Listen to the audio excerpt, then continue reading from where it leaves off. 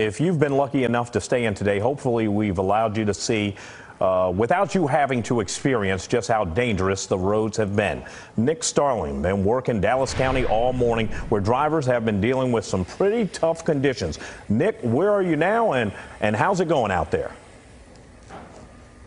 Hey Keith, we're in the Kessler Park area here in Dallas, and within the past half hour, we're actually seeing a lot of that cold rain start to fall here in Dallas. And this is actually a very hilly neighborhood, and it's causing a lot of problems for drivers and residents who live in this area. You can just see the sheet of ice, all these roads here. Uh, none of it's been treated, and you can see it dips down, way down over here.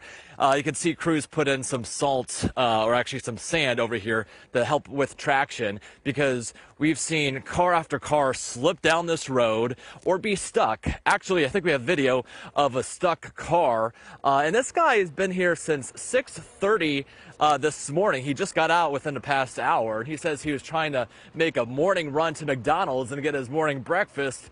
That turned out to be a bad idea because he was stuck here for about two hours. Luckily, police came and they tried to help him. I think they're the ones that maybe poured the sand down to help get him out, but it took two hours and he was here for quite some time. And he told me afterwards that he wished he would never left home, obviously because of the conditions that we're seeing right now.